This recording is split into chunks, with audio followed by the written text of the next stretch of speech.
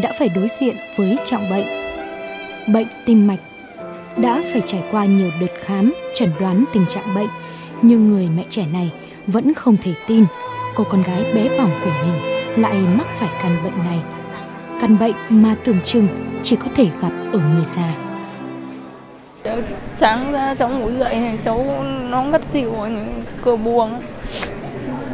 Em đi đưa cháu đi cấp cứu luôn lúc đó ra bệnh viện đau ờ, đa khoa gia lâm xuống chuyển sang bên xanh bâu nhưng mà nằm bên ấy mãi nửa tháng nửa tháng rồi. Cháu vẫn không thấy gì. Em bảo là đi sang bên này để cháu kiểm tra lại xem thế nào. Từ bé đến lớn, cháu chưa bao giờ phải đi bệnh viện khám chứ cả. Bố cháu cũng mất từ sớm, lúc cháu có một tuổi thôi. Một mình em nuôi hai cháu. Bây giờ cháu bé nó bị thế này thì em đau lòng lắm.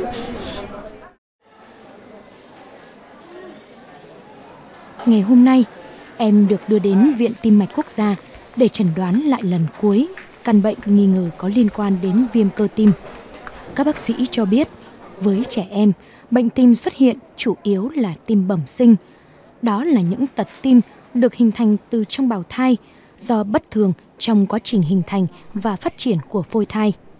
Nguyên nhân có thể do bất thường cấu trúc gen, người mẹ trong quá trình mang thai bị nhiễm siêu vi hay nhiễm độc, mắc bệnh mạn tính như tiểu đường, lupus ban đỏ.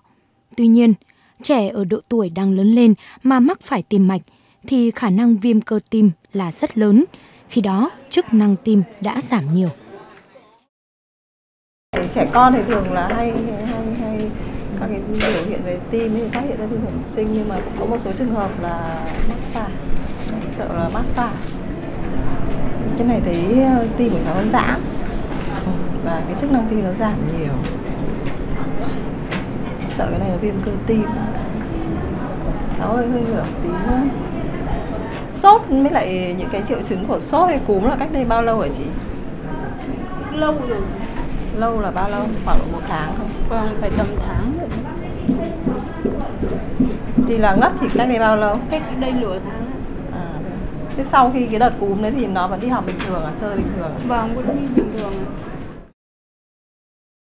theo các chuyên gia y tế, mỗi năm các bệnh lý tim mạch đã cướp đi mạng sống khoảng 17,5 triệu người trên toàn thế giới.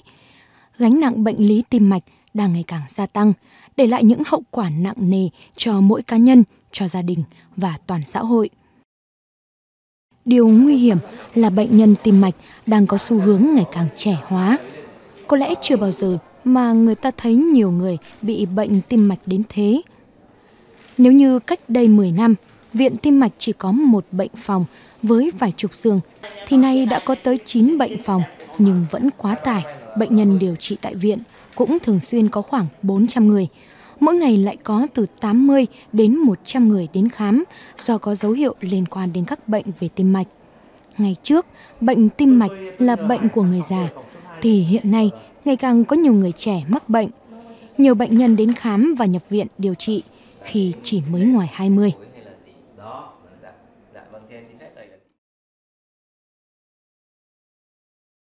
À, thực ra bệnh tim mạch nó có thể mắc ở tất cả các lứa tuổi từ người từ trẻ mới sinh ra đến à, người già. Tất nhiên là nếu đứng về tỷ lệ thì người càng già càng lớn tuổi thì tỷ lệ mắc bệnh tim mạch nó sẽ càng nhiều hơn.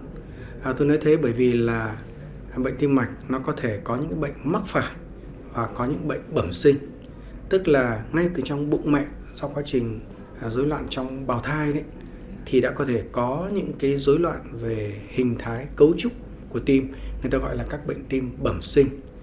À, thật ra tỷ lệ tim bẩm sinh thì trên thế giới thường thường các tỷ lệ đó nó cũng na ná giống nhau thôi. À, tất cả các loại tim bẩm sinh mà trên thế giới bị thì ở Việt Nam mình cũng bị nó na ná với cái tỷ lệ như thế.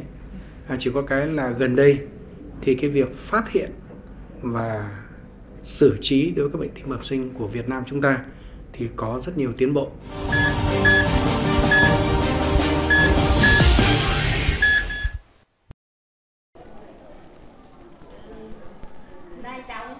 Xin nhấn mạnh lại rằng mọi đối tượng, kể cả người trẻ hay người già, phụ nữ hay nam giới đều có thể mắc các bệnh tim mạch. Nhưng những người cao tuổi, những người trong gia đình có tiền sử mắc các bệnh tim mạch và nhất là những người bị béo phì, rối loạn lipid máu, tăng huyết áp, đái tháo đường, ít vận động thể lực hay lo âu hoặc căng thẳng quá mức có nhờ stress trong cuộc sống là những đối tượng dễ có nguy cơ bị các bệnh tim mạch hơn những người khác. Thậm chí, căn bệnh nhồi máu cơ tim xưa nay thường gặp ở người già do quá trình sơ vữa động mạch diễn ra trong nhiều năm. Nhưng ở người trẻ bây giờ cũng có nguy cơ mắc nhiều hơn. Mặt khác, mô hình bệnh tật ở nước ta hiện nay đã có những thay đổi. Các bệnh không lây nhiễm, trong đó có các bệnh tim mạch đang có khuynh hướng tăng lên rất rõ. Trong số những nguyên nhân gây tử vong nhiều nhất thì những nguyên nhân hàng đầu vẫn là bệnh lý tim mạch, đột quỵ và ung thư. Các bệnh tim mạch bây giờ thì ờ, vào những cái thập kỷ ờ, 50, 60 cho đến tận 70 của thế kỷ trước ấy thì chủ yếu là các bệnh tim mạch chủ yếu là các cái bệnh về thấp tim và các bệnh van tim do thấp mà nguyên nhân chủ yếu của nó là nhiễm khuẩn thường nhiễm khuẩn ở trong miệng đó.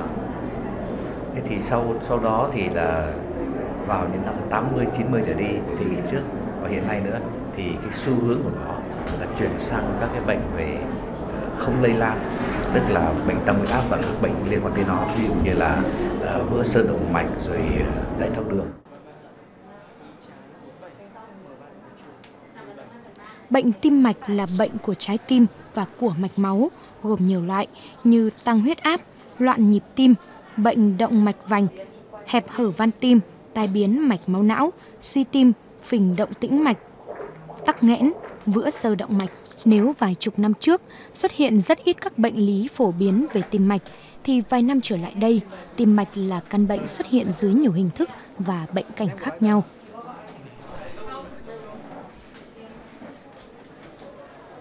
Thế còn thì nếu nói về các bệnh lý tim mạch thì nó có rất nhiều các loại bệnh lý khác nhau. À, nó có những bệnh về tim và có những bệnh về mạch. Trong những bệnh về về về mạch máu thì nó lại có các bệnh của động mạch và có các bệnh của tĩnh mạch.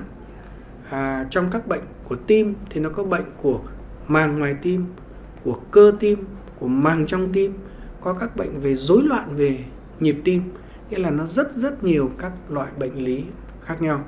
Dạ. nhưng mà cái thông thường nhất cái bệnh mà tương đối phổ biến à, trong cộng đồng đấy đó là tăng huyết áp à, thứ hai nữa là gần đây thì các bệnh lý của mạch vành, bệnh lý mạch vành nghĩa là các cơn đau thắt ngực hay là các trường hợp nhồi máu cơ tim cũng càng ngày càng nhiều. Cái thứ ba là các cái bệnh lý mà hậu quả, các cái di chứng của các cái bệnh về tim mạch. Đấy là các trường hợp tai biến mạch máu não, các trường hợp rối loạn, các cái rối loạn về về nhịp tim. Đặc biệt ở Việt Nam chúng ta thì có một cái tỷ lệ các cái bệnh van tim do cái quá trình gọi là hậu quả các cái di chứng của quá trình thấp tim trước đây thử làm một cuộc phỏng vấn ngắn những bệnh nhân đến khám và điều trị tại Viện Tim mạch Quốc gia trong một ngày mới thấy được sự đa dạng của bệnh lý tim mạch đang ngày càng gia tăng như thế nào. Đáng nói, với các bệnh lý tim mạch ở giai đoạn nặng, khả năng gây biến chứng là rất lớn. Phát hiện ra là đi, à, đi bộ bị tức ngực, tức ngực khó chịu, tức ngực khó chịu là khó thở, là ta đấy khám là phát hiện ra là động mạch vành. Gan là có chấm của dữ liệu của sơ. Thế sau đi ờ, bệnh viện đa khoa của tỉnh Sơn La thì nó bảo là phổi đen rồi thì uh, xấu. Thế nói chung là tim thì nó đập và nó ừ, khó chịu đau à, người nhà mình bị hẹp van hai lá và cũng bị được khoảng vài năm rồi. Nhà chị chồng chị là ông đại tá quân đội nên là ông ấy bị bệnh tự động mạch vành tim thông động mạch vành đặt ten đấy.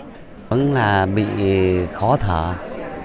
Đến bây giờ mổ được rồi thì bệnh nhân khỏe mạnh rồi vì có rất nhiều hình thức và do đó cũng có nhiều yếu tố nguy cơ dẫn đến các bệnh lý về tim mạch được chia thành hai nhóm.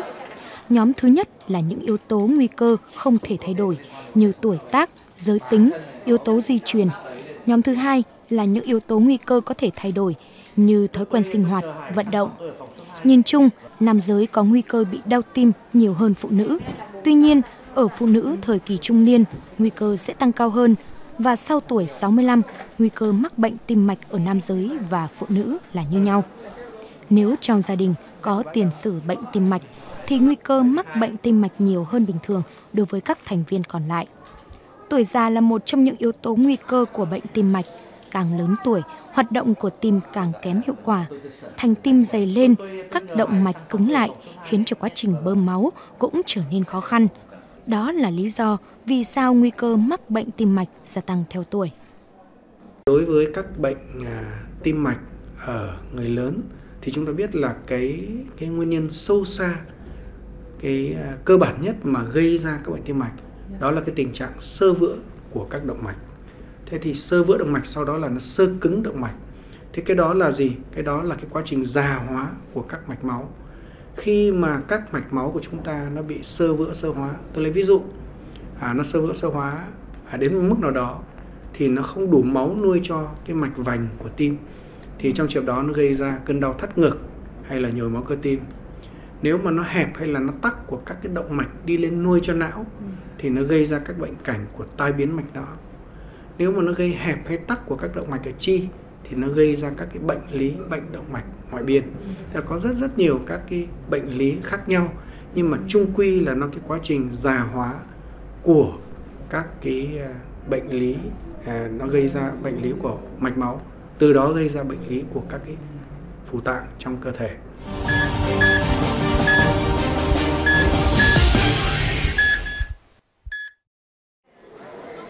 Hai chân và cánh tay trái đã bị liệt, chưa nói đến hàng loạt bệnh khác liên quan đến tim mạch.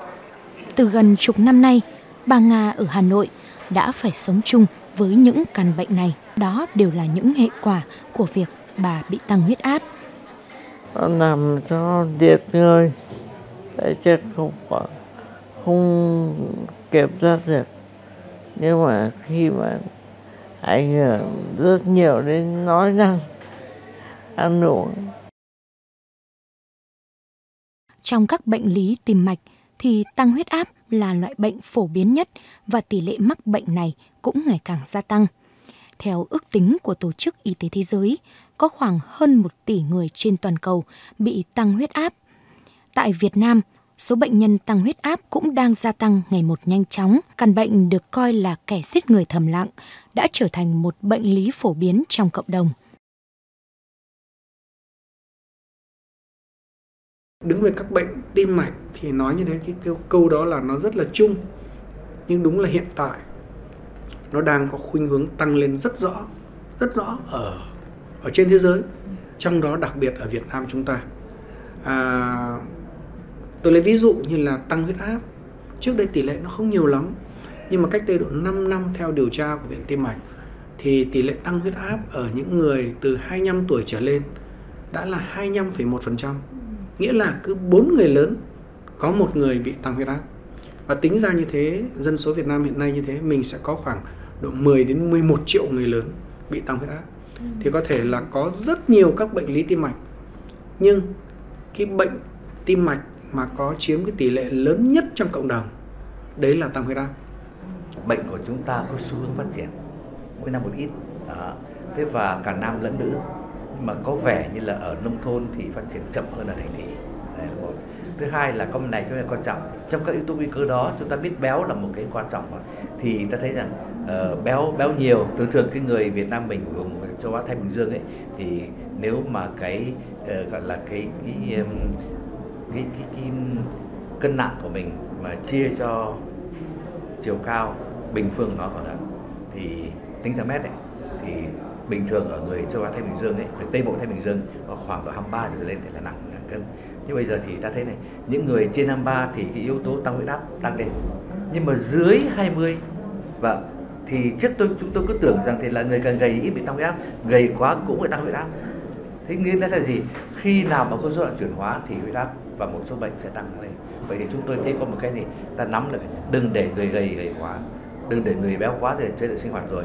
Nhưng đừng để người gầy gầy quá thì cho này vấn đề dinh dưỡng hết sức quan trọng. Do đó cái chủ trương nhà nước là để phát triển cái cân nặng và chiều cao của trẻ em Việt Nam là rất là đúng. Nhưng phải phát triển sao cho nó hợp lý. Cho tới nay chúng ta phát triển kinh tế là tốt rồi, nhưng mà nó phải phát triển hợp lý.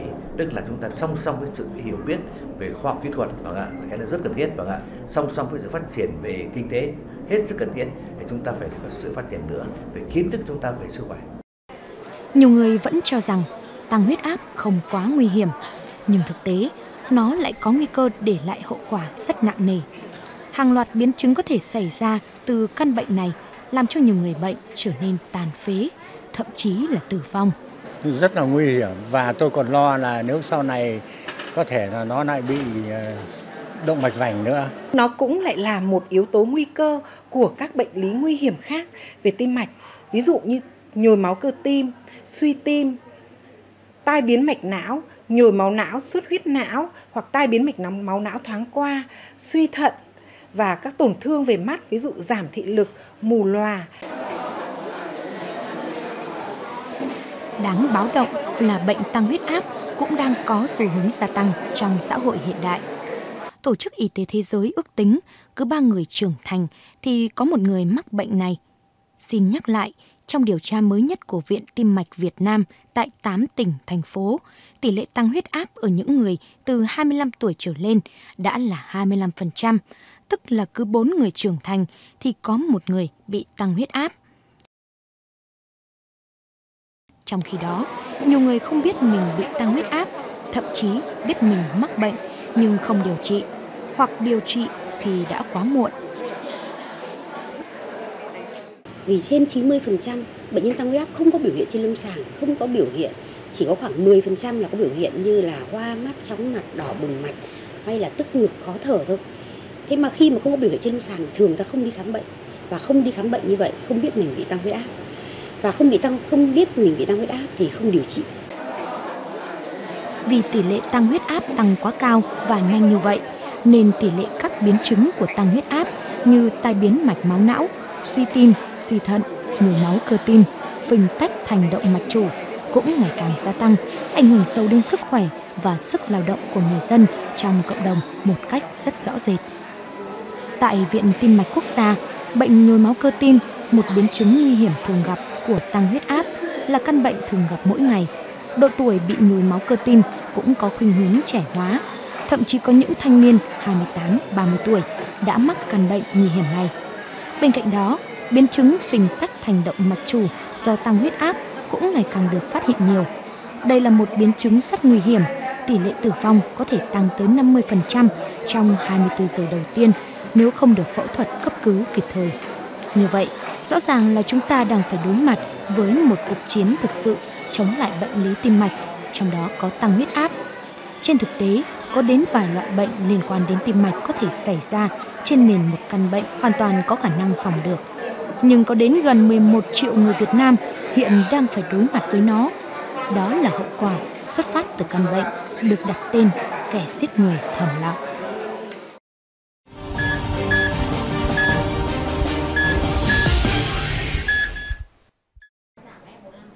Bệnh tim mạch đã và đang là một gánh nặng cho xã hội với tỷ lệ tử vong và tàn phế cao hàng đầu. Bên cạnh đó, chi phí cho chăm sóc, điều trị bệnh tim mạch cũng là gánh nặng đáng kể với hàng trăm tỷ đô la Mỹ mỗi năm. Cùng với sự phát triển của đời sống kinh tế xã hội cũng đặt ra cho chúng ta những thách thức về nguy cơ bệnh lý tim mạch tăng cao và gánh nặng về sức khỏe cũng như chi phí tăng vọt trong việc điều trị các bệnh lý tim mạch. Để phòng tránh được các bệnh tim mạch thì rất cần thực hiện một lối sống lành mạnh, điều chỉnh tất cả các yếu tố nguy cơ và cần thực hiện những điều này ngay từ lúc còn trẻ.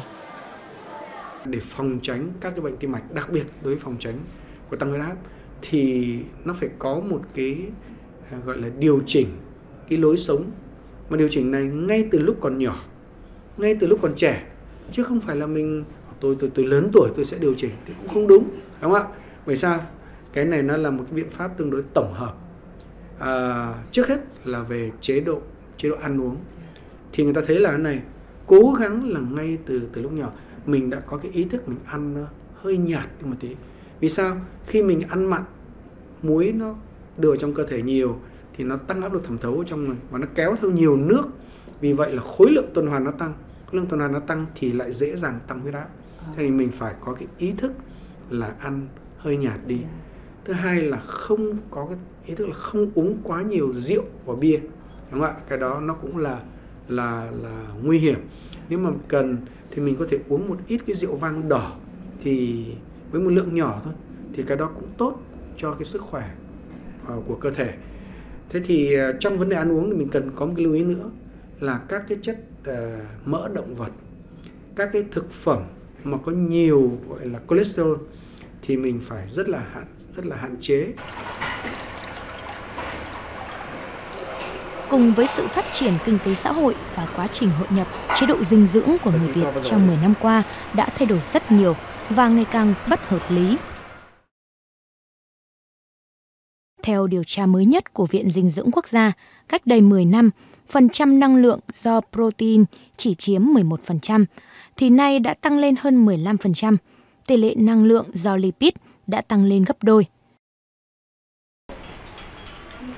Ngoài ra, thanh thiếu niên ở thành phố còn ăn rất nhiều thức ăn nhanh nên nguy cơ thừa đạm, béo phì rất cao. Do đó các bệnh về rối loạn chuyển hóa cũng gia tăng. Các chuyên gia y tế cũng cho biết mỗi ngày nên ăn 5 loại rau và hoa quả có màu sắc khác nhau là cách tốt nhất để bảo vệ trái tim khỏe mạnh. Tuyệt đối không nên hút thuốc lá, thuốc lào vì trong thuốc lá có khoảng 4.000 các chất độc khác nhau gây tổn thương máu hoặc gây nhiều biến chứng khác như các bệnh phổi mãn tính, ung thư phổi. Điều chỉnh chế độ ăn uống còn có một cái tôi cho là một cái tác hại vô vô cùng lớn đối với sức khỏe nói chung và với sức khỏe về tim mạch. Đó là vấn đề hút thuốc lá, hút thuốc lào. Vì sao? Vì từ khi chúng tôi có được cái hệ thống máy à, chụp chụp mạch đấy thì mình can thiệp cho những trường hợp mà nhồi máu cơ tim hỏi lại có lẽ tuyệt đại bộ phận những bệnh nhân đó đều có một cái thời gian dài là hút thuốc lá. Chúng ta biết là trong thuốc lá nó có khoảng 4.000 các chất độc khác nhau. Thì cái mà nó gây ra ung thư phổi, đặc biệt là cái gây ra sơ vữa của tất cả các mạch máu, trong đó có các mạch của tim, mạch của não thì rất rất rõ ràng. Chúng ta có những công trình nghiên cứu rất rất rõ. Do đó thì tuyệt đối là không nên hút. Nếu đã chót hút rồi thì nên giảm bớt đi để tiến đến là là ngừng lại. Vì cái đó là là cái mối tương quan giữa hút thuốc lá với các bệnh tim mạch nó quá rõ. Yeah. thì tôi, tôi tôi có một cái lời khuyên là hết sức chú ý đến cái vấn đề uh, hút thuốc lá. Tăng cường vận động thể lực tránh lo âu căng thẳng thần kinh cũng là cách để hạn chế bệnh lý tim mạch. Cần điều chỉnh triệt để các yếu tố nguy cơ nếu có như điều trị tốt tăng huyết áp, tiểu đường, rối loạn lipid máu, điều chỉnh giảm bớt cân nặng nếu thừa cân hay béo phì. Nên khám sức khỏe định kỳ 6 tháng một lần và thực hiện một số xét nghiệm cơ bản để có thể chủ động phát hiện các bệnh lý nói chung và các bệnh tim mạch nói riêng. Và cần phải nhớ số tăng huyết áp như số tuổi của mình.